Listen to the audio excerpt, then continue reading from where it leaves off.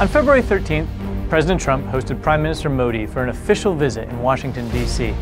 As leaders of two of the most vibrant democracies in the world, they reaffirmed the strength of our strategic partnership covering almost all areas of human endeavor, driven by shared national priorities and anchored in mutual trust. One of the key outcomes of this visit was the launch of the U.S. India Compact Initiative, that's catalyzing opportunities for military partnership, accelerated commerce, and technology for the 21st century, aimed at driving transformative change across key pillars of collaboration.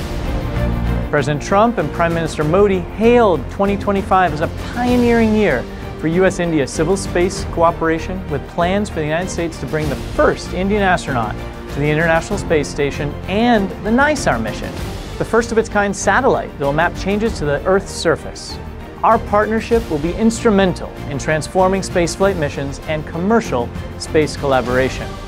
And to keep us strong closer to home, the United States and India share a steadfast commitment to a free, open, peaceful, and prosperous Indo-Pacific region.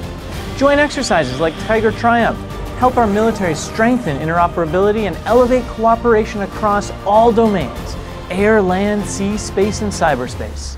Together, we're stronger when we focus on cybersecurity needs the very real and changing vulnerabilities and the need to maximize emerging technology and AI and other capabilities to strengthen our security interests.